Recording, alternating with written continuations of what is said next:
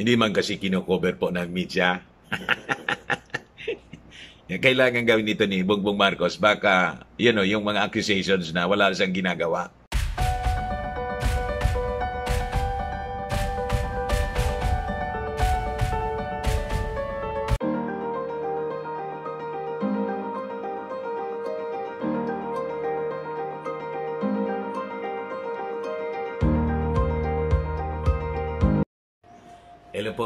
Kababayan, kamusta kayo? ah, kamusta po kayo? Gusto ko lang kayong i-update nitong ah, ah, balita ngayon. Ah, breaking news sa disqualification, a petition to declare Bongbong Marcos a nuisance candidate. Ah, ah, di dinesisyon na na po mga kababayan ng ah, COMELEC yung petition na to.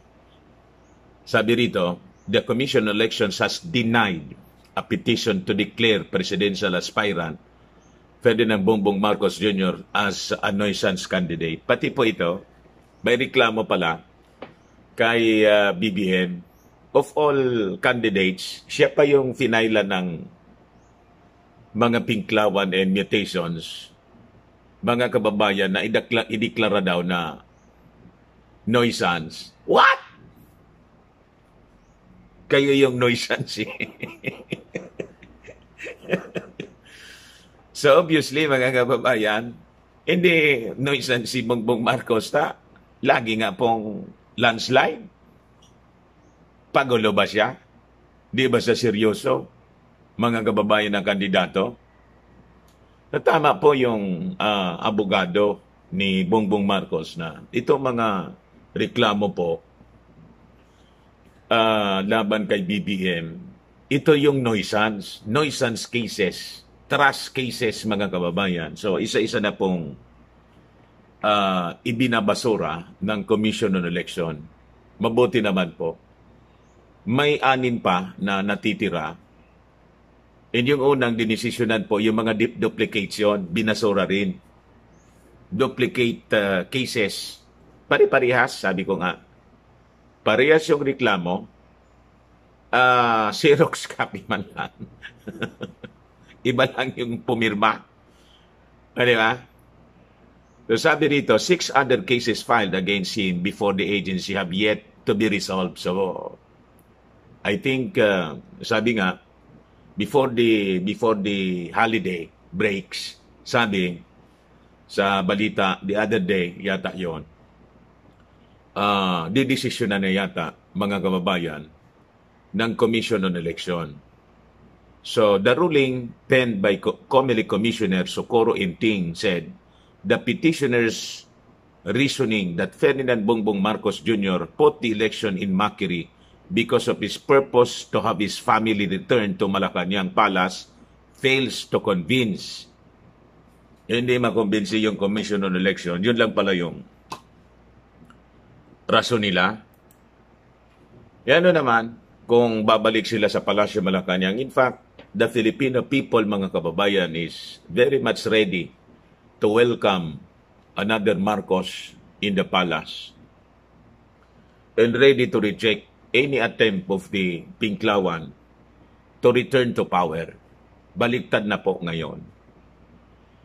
So, in reaction to this, sabi po ng abogado ni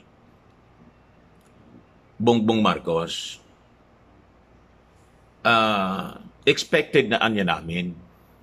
Bongbong Marcos camp said, expected na nila yung junking of this nuisance candidate petition. Uh,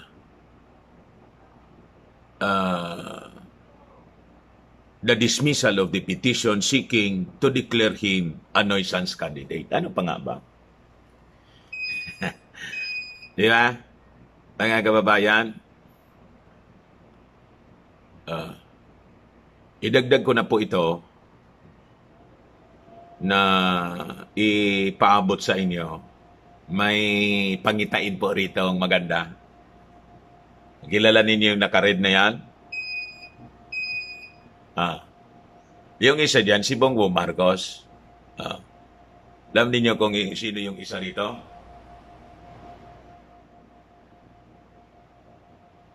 Si Marojas.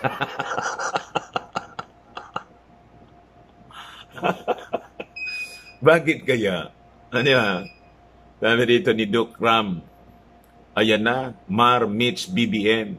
Siyempre, si Marojas ay pinsang buo ni Lisa Marcos, asawa ni BBM. Galing sa Old Rich Araneta clan. Araneta yung... Araneta po yung uh, napangasawa ni Bongbong Marcos. Abogada. Ang bayaw ni BBM na asawa ng sister niyang si Irene Marcos ay pinsang buo.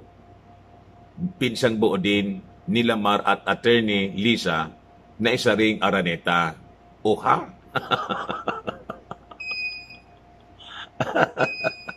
Kung gusto makarecover ni Maruha sa kanyang political career po, panahon na na anyway, unity team po. Di ba? Si GMA na kay Maruhas na. Uh, di ba?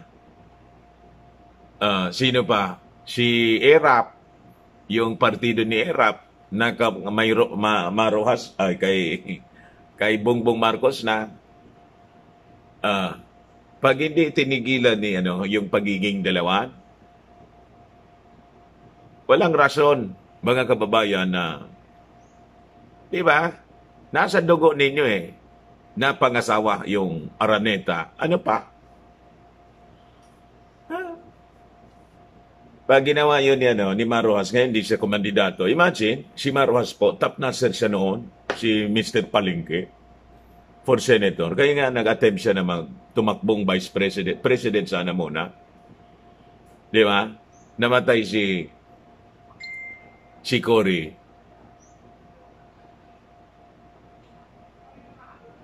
Biglang naging candidate po si Pinoy. NBC Marojas, 2010.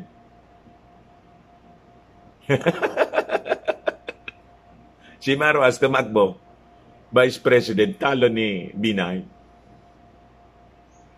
Bumalik siya mga kababayan, tumakbong senador, talo, tumakbong presidente pala, talo, ni Digong. Ah, di ba? 2016. Bumalik na 2018, mga kababayan si Marojas, tumakbong senador, talo pa rin. Why? kahit na nagpalit na siya ng, ng kulay niya, ayaw na niya ng yellow, ginawa niyang white yung kung ano-ano ng kulay sinusuot, hindi pa rin matanggal yung sumpa ng yellow. Yun din ang mangyayari kay Lumi. Kahit hindi na sa yellow yung kulay, pink na. Kahit anong kulay ninyo, kung hindi kayo mag, ano, mag uh, tawag doon magbabagong buhay magbagong buhay na kayo di ba uh, hindi magkakalimutan uh, umanib kayo dito sa unit team there's a possibility na baka yung mga mamamayang Filipino, i-consider uli kayo sa susunod na halala. Basta sumuport kayo.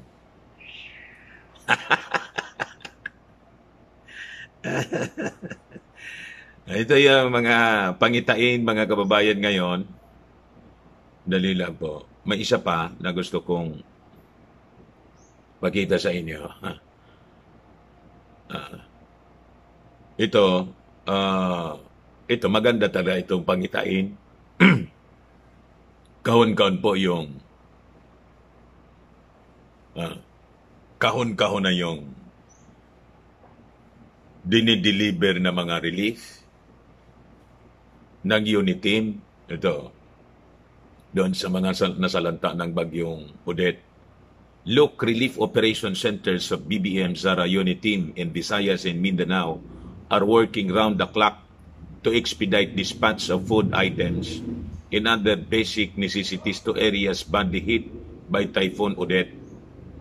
Relief items are on their way to southern Leyte, Butuan City, Bohol, Cebu, Siargao, Capiz, Negros Occidental, in Masbate. Sabi po dito mga kababayan. Si Lomi, uh, uh, si Lomi mga kababayan, on the other hand, naging ano, naging reporter na po. Nagikot-ikot siya, naging reporter siya. Tingnan mo mga mga binabalita ni Lomi. Ah, ito pala po, isa pa.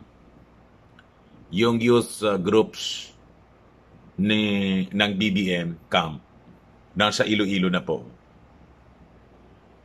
Yeah. Nagsagwa ang ating mga youth groups, sabi rito, ni Bongbong Marcos mismo uh, sa kanyang uh, page. Yeah, page yan ni Bongbong Marcos. Oh. Hindi man kasi kino-cover po ng media. Kailangan gawin ito ni Bongbong Marcos. Baka, you know, yung mga accusations na wala siyang ginagawa. Uh, di ba?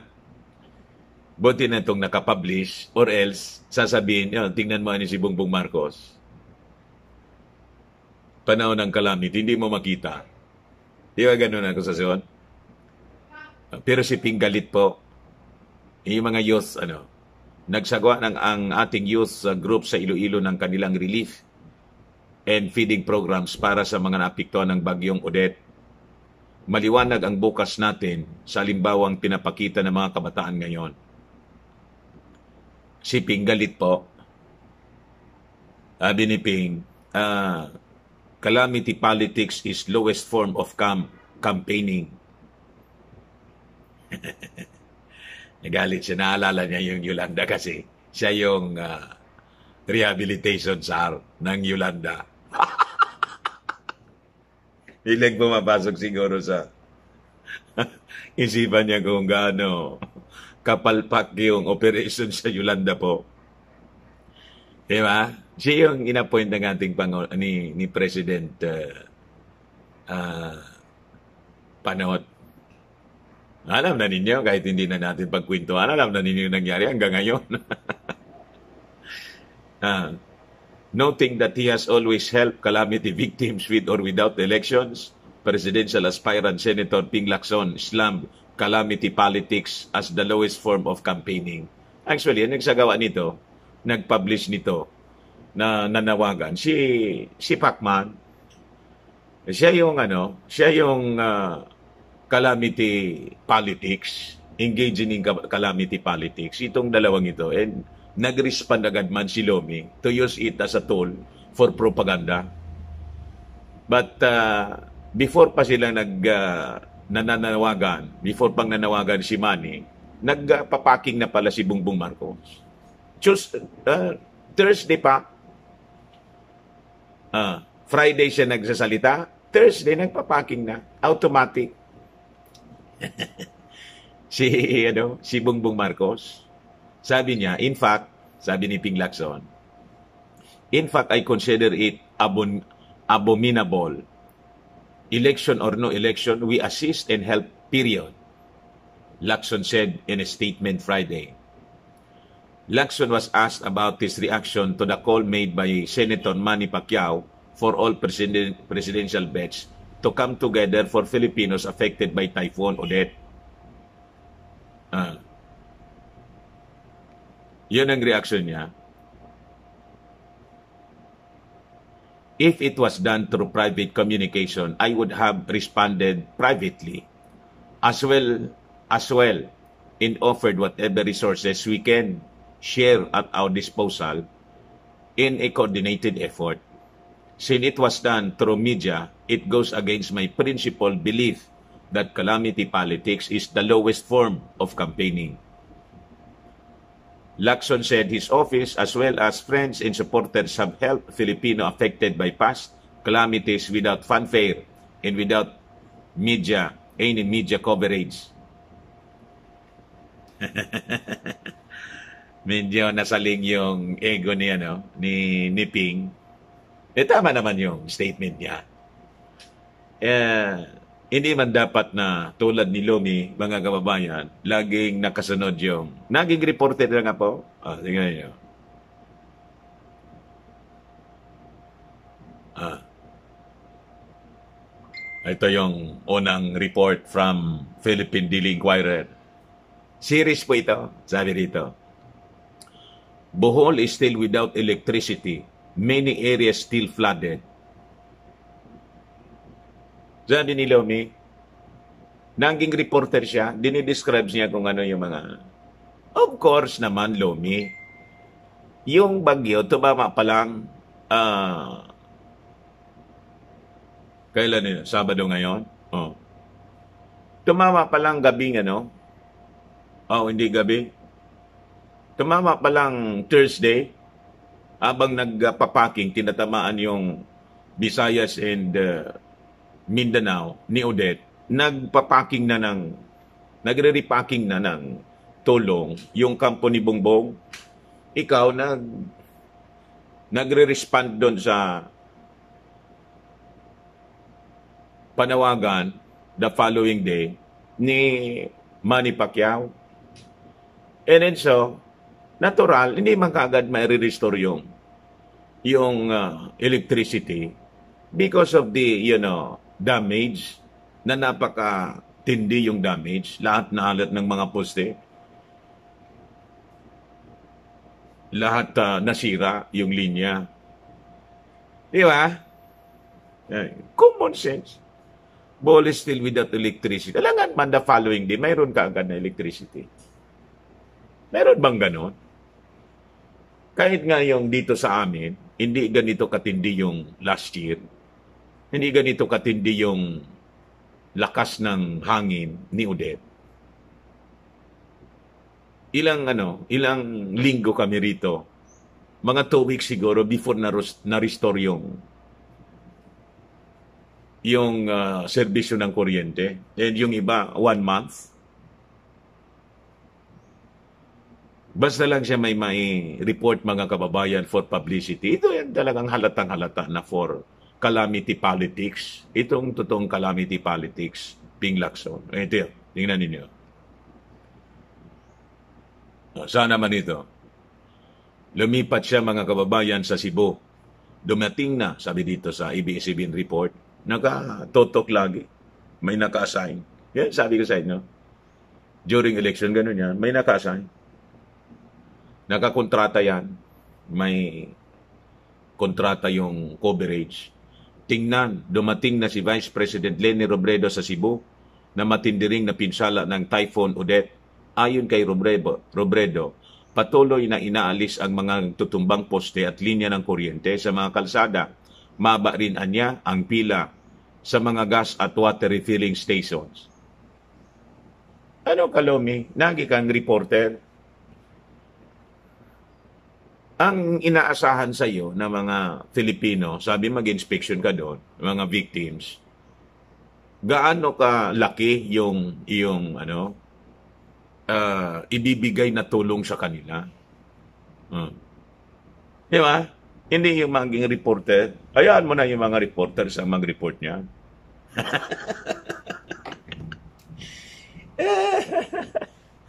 Di ba?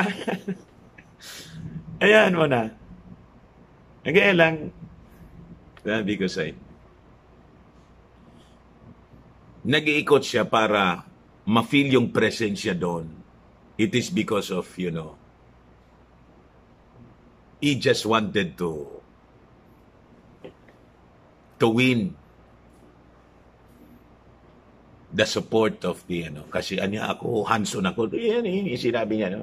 Dapat anya yung leader hands-on. eh,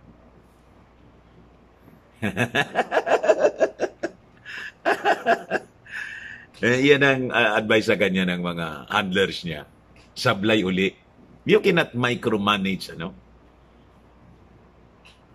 the uh, the operations of uh, as the office of the, the president. Hindi mo man pwedeng ikaw ang gagawa noon personal. Kaya nga may mga agencies in charge, DSWD, para sa relief operations. Di ba? Department of Health, para yung mga, eh, kaya nga nainis ako, po, doon sa balita na si ano si Hero ang nasa isip yung tuklawan niya baka niya na damage at brown out niya masiraan niya tuklaw pa rin yun iniisip niya sabi ko nga dapat sakluluhan muna ninyo yung mga in- injured mga sugatan sakluluhan din yung pamilya ng mga nangamatayan di ba at kung kailangan ng mga gamot doon sa mga areas at uh, malinis na tubig, di ba? That should be your concern. As the leader of the Secretary ng Department of Health, hindi yung pagbuka ng bibig mo, ay, yung baka niya nasira. Baka niya masira. Di ba? DPWH for the clearing operations. Hindi man yung kailangan yung presidente pa yung gagawa noon, mag-iisip noon, ano ka? Hindi ka man mayor. Di ba?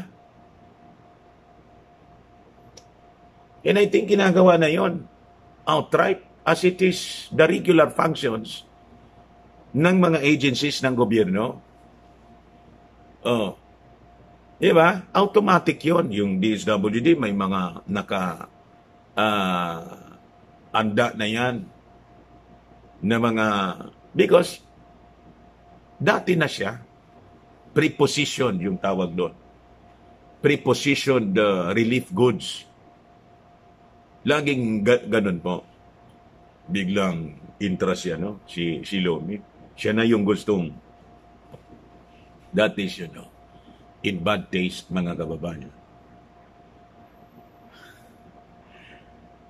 di ba That is the function of this uh, existing ano, agencies ng ating gobyerno. Siya as Vice President, she can augment di ba, the relief operations. Tama yun, tutulong siya doon. Pero sabi ko nga mga kababayan, dapat ang una niyang ginawa, nag-allocate siya from, his, from her own budget or from her own pocket sitting vice president siya. Ang ginawa niya, lumabas sa media, tapos nanawagan for fundraising siya, for donation. Supply. Ay, isipin ng tao. Bakit ka nagpa-fundraising? Ano ka, radyo, television, newspaper? Pribado ka ba? Para mag-fundraising? let people siguro uh, help through your office. Pero kung yun ang unahin mo, mag-fund...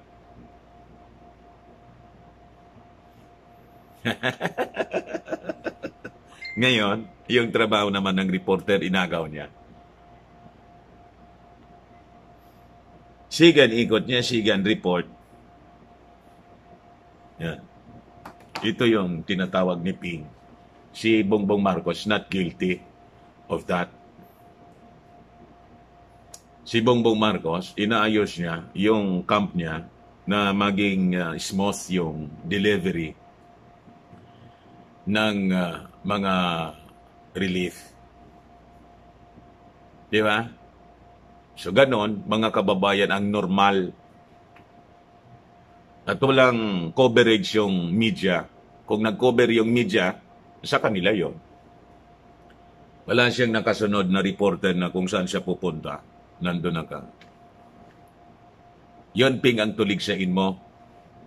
Yung mga kasama mo sa mutation sa ano, sa Pinklawan, sila yung calamity politics.